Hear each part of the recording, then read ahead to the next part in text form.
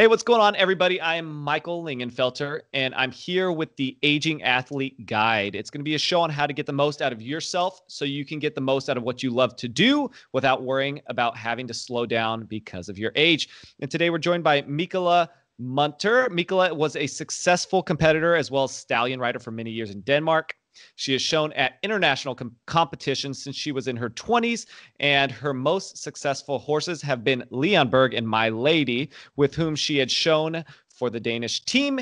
She and My Lady actually placed in two World Cup finals, being the highest prize money winner pair at Global Dressage festival for several years and showed at the World Equestrian Games in 2014.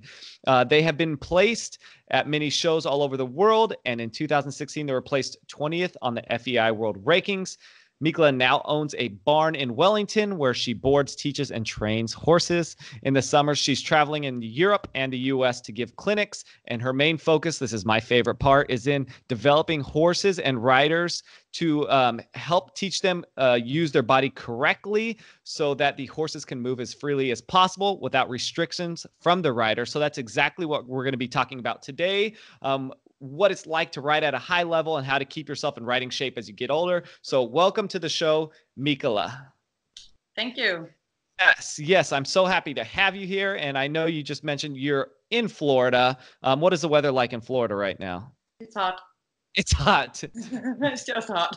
hot. Okay, so I know I know you've been doing this for a while. You've had a lot of experience. Um, you're getting into a part of your life where you probably have to do a little bit more maintenance to maintain your rider shape. So I would love if you could share with us right now um, what level of strength and fitness is necessary to participate at the level that you ride at. A high level of fitness, I think um, we cannot just keep going the way we did when we were in the 20s or 30s or 40s. I feel like um, when I hit 50 last year, uh, it really went uh, downhill quickly. And I realized now it's time for me to start uh, doing something other than just ride. Because honestly, I haven't really done anything else my entire life than ride horses. And I've done some yoga, uh, I'd say maybe once a week, but not not for not enough. So no. things started to p- get painful, and I have a lot of horses at the moment that are at the highest level. So that also demands demands a lot of strength from my body, from my core, and I just got more and more sore. I had a little back injury last winter and couldn't through it and we cut off. No? You're good. Okay. So uh, I had a little injury and it took me a long time to get over it in my back. And I was struggling and struggling. And I was going to massages and stretching and yoga and chiropractor. And it was just not enough. And I actually started um, doing Pilates and taking Pilates classes. And I go every day now.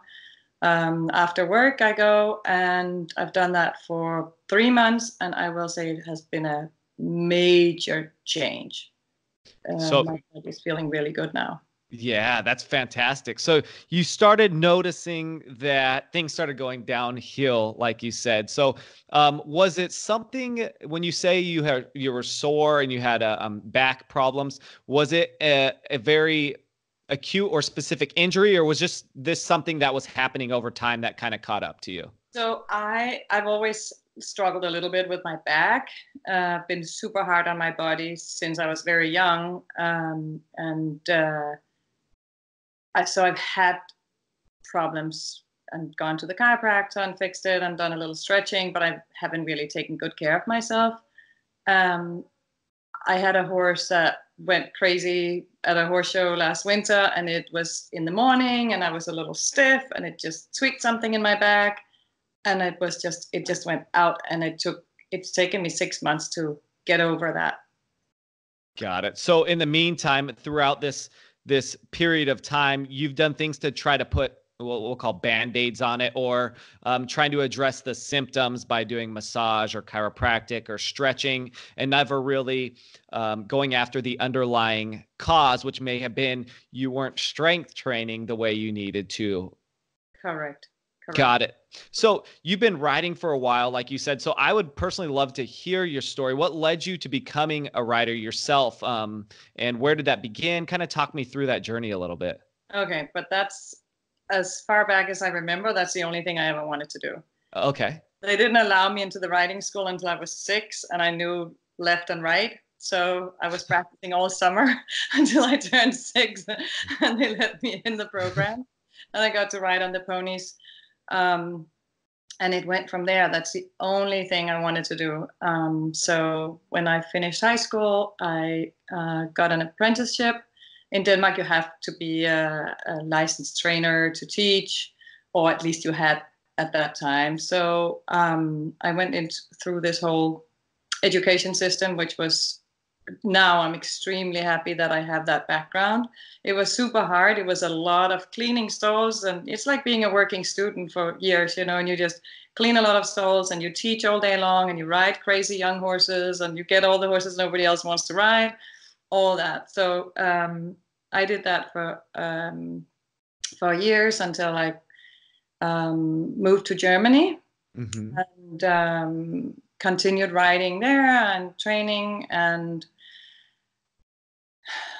moved then let's say now i'm in my 30s i got my first child moved back to denmark um, my ex-husband and i was we worked on a big riding school with 100 horses. We did uh, trained all the dressage and jumpers there and had another child and um, a few years later moved to uh, florida. That was in 2004 and uh, I will say, since I moved here, things have gotten just better and better for me in my riding. I was able to focus more on my riding uh, when I came here, and uh, I've had better horses than I ever had in Europe. So it's it's it was really it really went um, forward after I moved here. Uh, do you want to hear more about what happened here? that sounds wonderful. That was that was that was quite a journey. So it sounds like something that you knew right away at a very young age, like you said, this is what you've wanted to do, and you've just been full steam ahead um, and really stayed focused on it. And what I've seen as a pattern of most riders who start at a young age is that your body can tolerate a lot of things when you're younger, right? You could fall off the horse and jump right back on and get on. And that just seems to be a part of the culture. Like we wear injuries sometimes like a, a badge of honor. And you don't realize till your your 30s and 40s that uh, you're not unbreakable and those things start catching up to you. And one thing that I'm glad you said because I've tried to communicate this um, is that riding is not enough. Um, I hear a lot of the time that I ride, therefore I don't need to exercise, and that is that is my exercise. And you are noticing that when you do stuff out of the saddle, now it's almost a necessity because you've spent enough time just riding, and you've done a lot of riding. So if anybody were to say that riding is enough, you would probably be one that said, "I rode all the time, all my life, and it wasn't enough. Sure. Um, and from my standpoint, um, I I work with riders on a daily basis, and you put enough force and wear and tear on the body in the same very specific positions. When you're riding, you're doing the same thing over and over and over and over. You're putting a lot of stress on very specific joints and muscles. And sometimes, like when you do, like how you were talking about Pilates, Pilates is going to be working a lot of opposing muscles that you typically don't use in riding. So you're actually treating and training your body to make it a healthy environment to handle this stuff on the horse, right? Um, so is this something that if you could go back, let's say 20 years ago, what would you have told the Mikala of 20 years ago to be doing? I would have I would have said to her, I think you should start doing something other than riding sometimes. Um, I do think Pilates is really is really helpful for uh, riders. I've done like mat classes a little bit in the past, but nothing like now. I I go and take classes with the uh, reformer and everything. And what I think is really really important is as we ride, we get little um, we get crooked. You know, we, the body is a little bit crooked, like the horses are.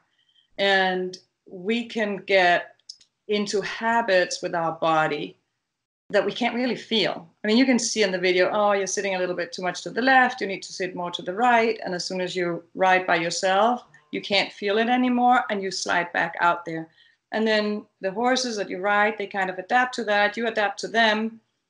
Um, and I think that if you do some training besides the riding, and now I can feel what's going on here doing the Pilates now, I can't cheat. You know, I, I do everything even, both sides. I have the same amount of weight on both sides. And so I, it straightens my body up and I can feel that I'm able to support my horses better um, that because my, my hips and my core has gotten mm. more even. Yeah, yeah. That's and that's a that's a wonderful um a wonderful thing to bring up that we have these imbalances and that we can actually create imbalances and compensations in the horse as well if we don't address that. And it's not something that we feel all the time either. It's hard to be aware of these little minute compensations and things that are going on in the body.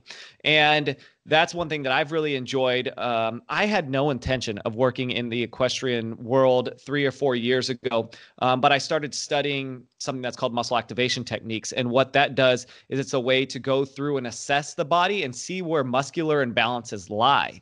So, anytime you have a muscular imbalance, meaning we are weaker in certain muscles or our ability to use those muscles than others, that starts creating compensations because we t- tend to lean towards what our body knows best. So as we age, we start using more and more of the stuff that we know better, and those little compensations get bigger and bigger and bigger and bigger. So this wonderful methodology and tool that I have allows me to look at people and have them on a table and see where they can move and where they can't.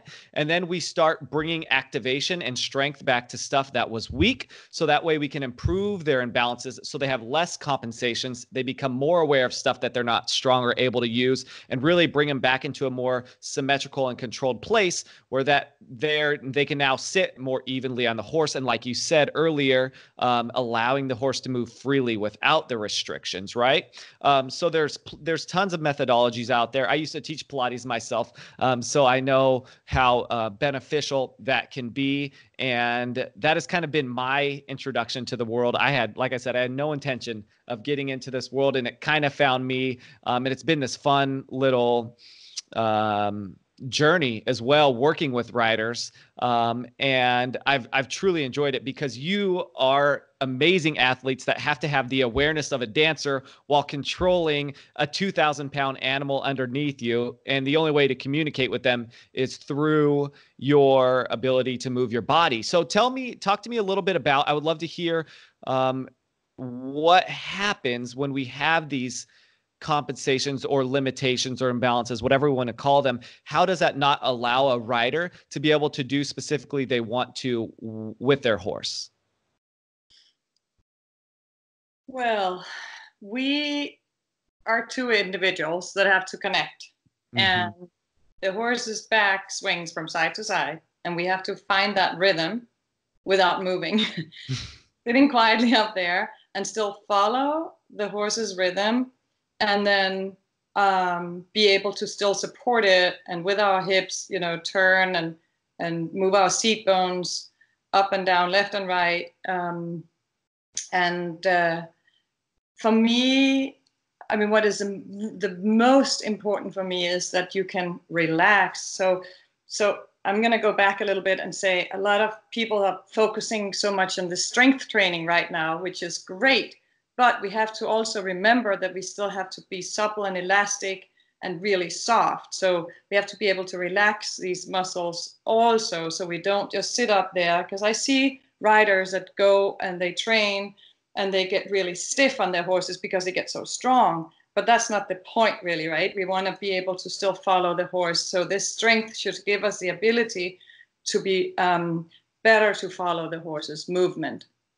And at the same time, once you can sit elastic in the saddle and follow the movement, then see the way I drive my horse forward is a little different than a lot of other people. I bounce with the horse. Okay. So it's like I'm sitting on a bouncy ball and I'm making that ball bounce uh, more and more and you can't just bounce really hard on a bouncy ball right then it's gonna it's not gonna work so you have to go slowly more and more and more and that's how i make my horses move and that's how i keep mm-hmm. them so mm. elastic in their body and uh, i don't press with my legs very hard i only give short impulses and then i take my legs completely off again so they hang softly so that's how i try to make my horses feel as comfortable as possible underneath me that I always sit really soft in the saddle and um, focus very much on, on following the horse as if I was riding bareback. Got it. Got it. So when you are out in your teaching clinics and working with someone that you maybe have never worked with before, um, what is your approach in working with that person? What are you keeping your eyes on and trying to help them improve, or, or what is maybe um, some consistent patterns you see of riders that you come across? So what I see a lot is people because this is what we've been taught when we started riding is like kick and squeeze with your legs and hold tight with your legs. And I'm just going completely away from that. So first of all, I'm taking my telling my riders to take their legs off the horse.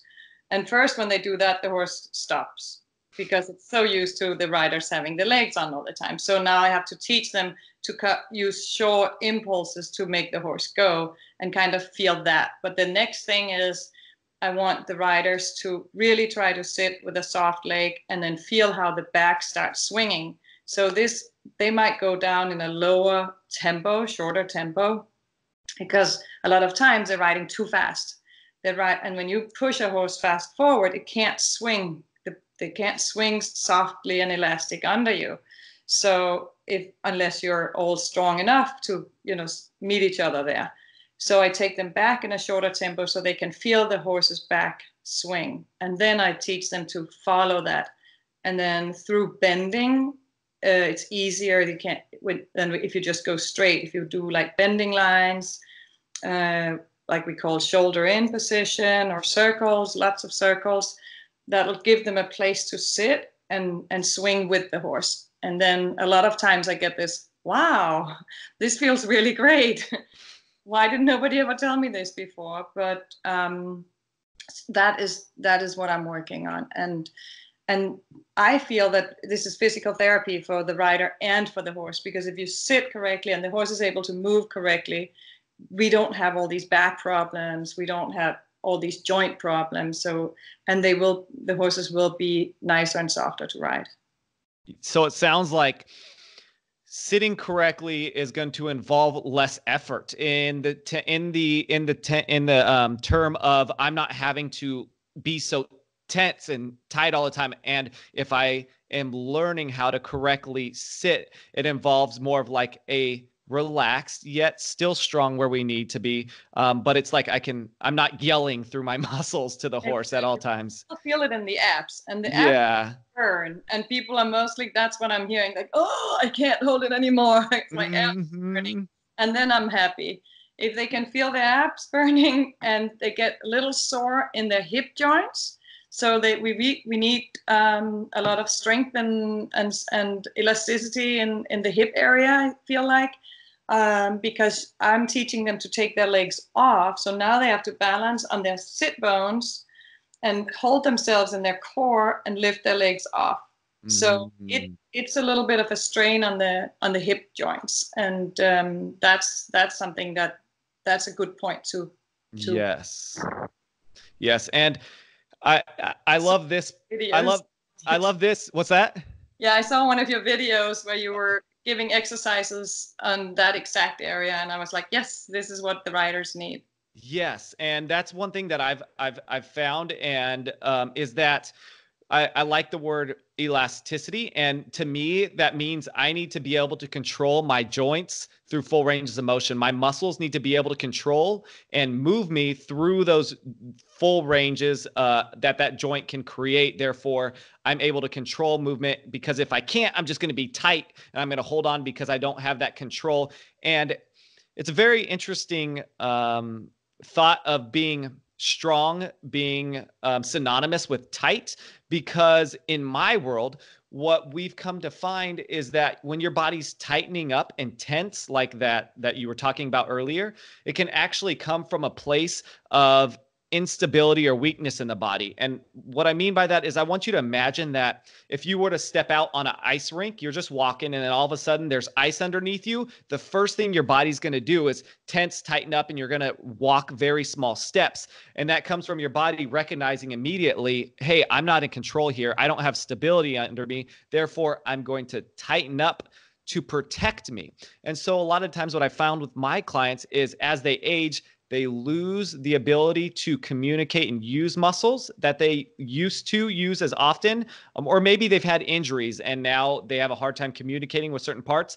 Therefore their body starts to tighten up because it's protecting them from saying hey i don't want you to use these certain muscles. Therefore i'm going to tighten up and not let you have this full range of motion. So that elasticity um, comes from us restoring their ability to use their muscles like they used to when they were younger. Therefore, they can still have this strength without the tightness. And you can have that suppleness because the body can relax and understand that it has it under control. Um, so you get this really delicate balance of being strong where you need to be, like your abdominals, that flexion, being able to bear down into the horse, but at the same time being light and supple in other areas. Um, so it is that delicate balance um, that you were talking about, and that's where I enjoy working with riders because just like you said, you can't be yelling at the horse the whole time by squeezing it and choking it to death. And that your aids probably actually get a lot more effective when you're able to not be yelling the whole time and then give the clear aids. Like um, it's making me realize I know way too much about horses for not. Uh, that's why I love having these conversations because I get to learn. And now I'm like, ah, I'm talking about this thing that I had no idea of about four years ago. Um, but I love to hear that you're on the same page, that it's about having the control and it, you're not out there just trying to put in as much physical effort everywhere as possible. Um, so, with that being said, what would you say? Is there anything in the last five or 10 years, maybe it's a new belief or behavior or just a new habit that you picked up that's most improved your life? Um, so my training life, my with my horses, because I've changed uh, some, not a lot of things, but I have changed. But one thing that I have uh, been focusing way more on over the past uh, five years, probably, yeah, is um, making the horses more elastic. And how do you do that? And I'm doing, I'm, I'm working with a physical therapist from Denmark and a good friend from, from Denmark, Klaus Toftgaard and he comes over here on vacation in the winter and we hang out and we talk like you and i right now and um, he has taught me a bunch of stuff on how to get the horses more elastic over the back without the rider like how we can lunge them and stretch them and not be so afraid of letting the horse be without um, uh, side reins when you lunge them. Like let them be long in the neck when you lunge them. Lunge them over cavalettis, but let them move more freely. And uh, so do a little groundwork, uh, a lot of stretching. And uh, we keep very busy at the barn with the stretching of the horses. And uh, we, we do spend a lot of time uh, on that, on that particular thing now. So this way we have so we have to be better ourselves as riders because now we're getting our horses so nice and soft everywhere but it all it goes hand in hand but since i've been more focused on my horses and i feel more i also could see where i, I needed help myself to uh, to be able to balance myself better yeah, so that's wonderful. So creating not only elasticity in the rider, but actually being able to do that in the horse as well. And both of those components need to exist, and that you're doing that without the rider on it as well. You you have um, different strategies and ways of being able to improve the elasticity off the saddle. Um, and so that is, it seems like one can't really exist with the without the other. One will kind of always pull the other one back. Is that correct? Yes.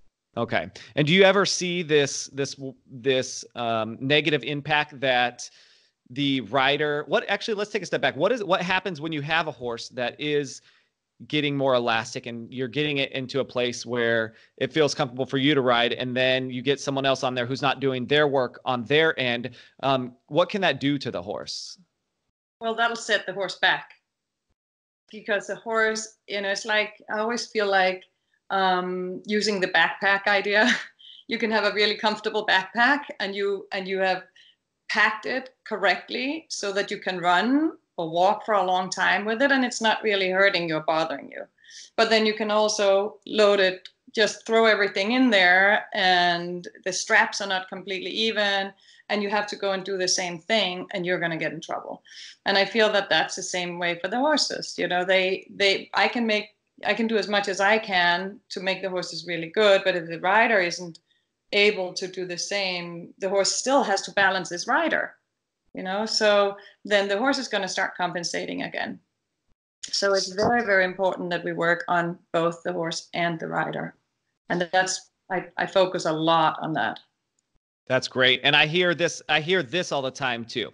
I don't have enough time for anything but myself and i'm out there at the barn and i've got you know a job and i've got a family. What advice would you give to that person who wants to be able to get the most out of their rides but comes to the party with saying, "Hey, I just I don't have enough time to do anything for myself." But it's not. It shouldn't really take much extra time. Most people have time to at least spend 15 minutes on Facebook every day. so true.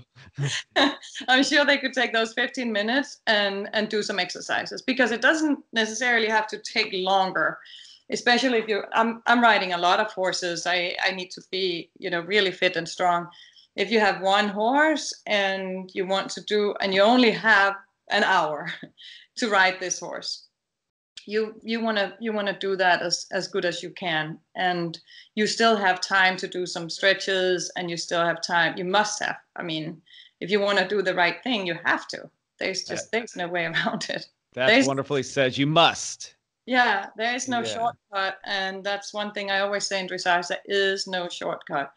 You gotta do you gotta do the right thing if you want to make it somewhere. And and it's not only about making it somewhere in the sport; it's doing the right thing for the horse.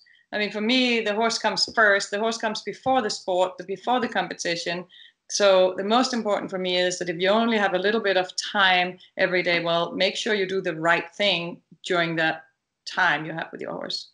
That's wonderful. Doing the right thing for the horse. I think that's so powerful. I, I, I, feel like there's a lot of people that I surround myself by that have that same horse comes first, horse comes first, horse comes first. And if the horse comes first, that means you actually need to put yourself first in the rest of your life by making that little bit of time to improve your physicality. So that way the horse can come first by you taking care of yourself. Um, and I love that you also said that it's there's no shortcut. And I'm going to go down this road a little bit, but uh, I think one thing that I tend to see not only in the equestrian world but in other sports as well is we look for a lot of the times uh, a a silver bullet or the magic pill that you're going to have someone come in and teach a clinic and they're going to give you exactly what you need to make the rest of your riding fantastic, right? And I get I get kind of nervous, but I don't want to ever back down in saying that, hey, I'm coming here. This is a day and it's going to take work from here on out. There's nothing that I'm going to do that's going to change your life. And you actually have to put in the work outside of it. And so, is this something that you have you ever have you ever noticed this in the world do you what is your approach when you go into clinics letting them know potentially like we nothing's going to change dramatically in a day this is going to be you're going to have to do the hard work can you speak on that at all yeah, of course. Um, it's it's hard in, in this. This is such a big country, and not everybody is able to have a trainer every day or on a regular basis. So they have to use clinics. You know, they so you will have somebody come in, and it will be different people with different approaches, and they will come in and give a two-day clinic every now and then. It's not enough to. It can never be enough to change somebody uh, completely hmm. in in two days. It's it's just not possible. I like um, I like to go to the same places over and over. So I don't go. I try to not have too many different clinics, but go to the same, you know, the same groups, so that we can continue to work on things. I give them homework when I leave, and then when I come back a month later or a month and a half later, well, then we can continue to work. Because again, like we talked about earlier, a lot of it is habits.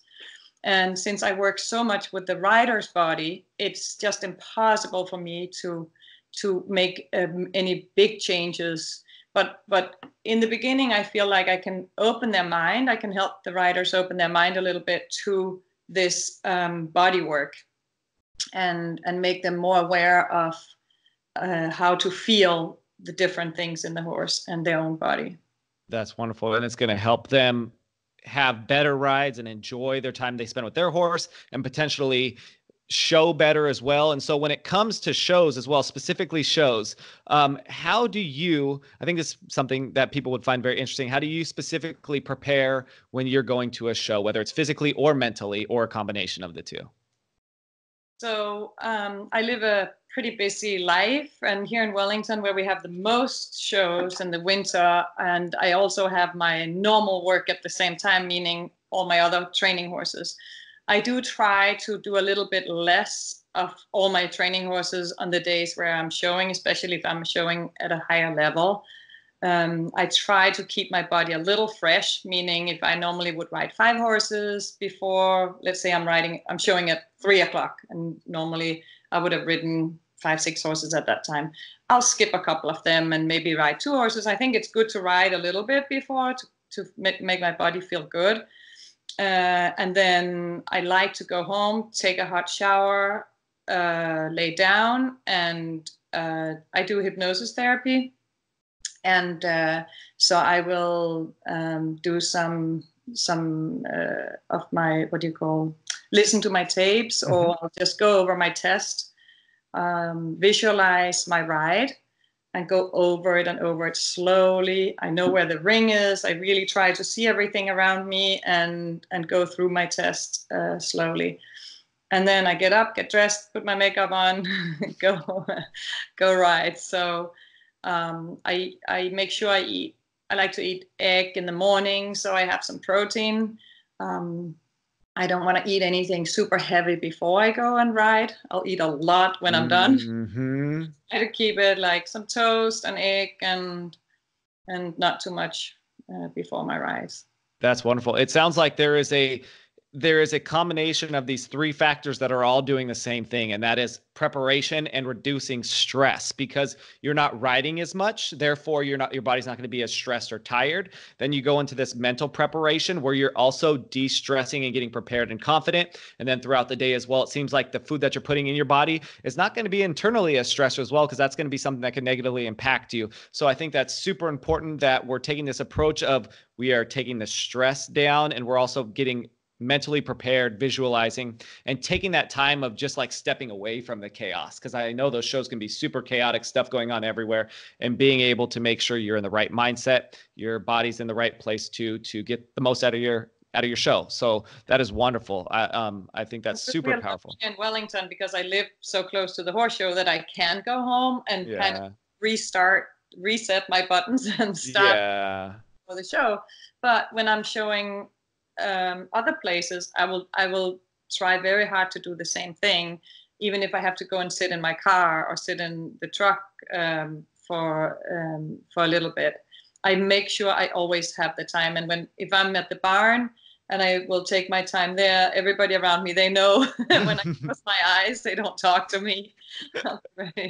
I'll be in my zone, and everybody That's... respect that. That's wonderful. That's wonderful. I appreciate that. That's that is some great insight, and I know that uh, my audience will appreciate that as well. And so, before we take off, Mikala, do you have any other closing words or recommendations or thoughts that you'd like to impart uh, on the audience before we close out this conversation? Um, what I'm always preaching is, and I tell everybody um, all the time, is enjoy the process. We all have these big goals. We all, all want to go to the Olympics. Only very few will actually go. And don't be disappointed when you don't reach that goal. It's really the most important is to get the most out of your training every day and enjoy that. And then your success will come and as it comes that'll be the icing on the cake but it really is the daily training that should be the most important for, for riders That's wonderful. Daily training, get the most out of it, enjoy the process. Thank you so much, very much, Mikala, for taking the time and speaking with us. And uh, we enjoyed having you on here. Thank you. If you enjoyed this show, do me a huge favor and just share it with one person. That's all I ask. Share it with someone that either would find this educational or entertaining and uh, share it with them so we can get more people learning how to be better riders and take care of themselves and their horses. And if you want to find more information about Mikala and see where she's doing her clinics or just get more information from her, uh, go over to Facebook and check out her page. It's Mikala Munter. Uh, last name is M U N T E R, and Mikala is M I K A L A. So go check those out. And we've got so many great things coming up. Look forward to seeing you in the future. Thanks.